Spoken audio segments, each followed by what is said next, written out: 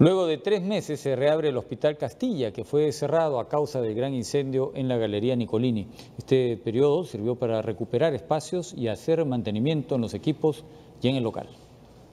Hoy se retoma la atención. No ha estado atendiendo este hospital, hoy vuelve a atender. Luego de poco más de tres meses se decidió reabrir las puertas del hospital de nivel 2, luego de que el informe de Digesa descartara la contaminación del aire. Estamos aquí con un Ramón Castilla remozado, con unas instalaciones debidamente mantenidas, con sus pacientes siendo ya atendidos.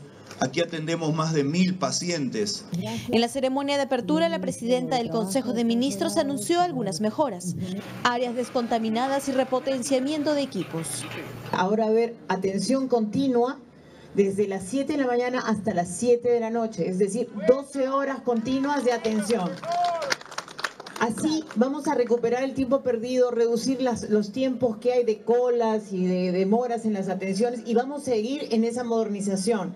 En el supuesto de que se decida demoler la Galería Nicolini, el presidente ejecutivo de Salud respondió. Se tendría que cubrir, se tendría que tomar algunas medidas de ingeniería para que eh, el edificio Nicolini pueda demolerse sin afectación de nuestro hospital.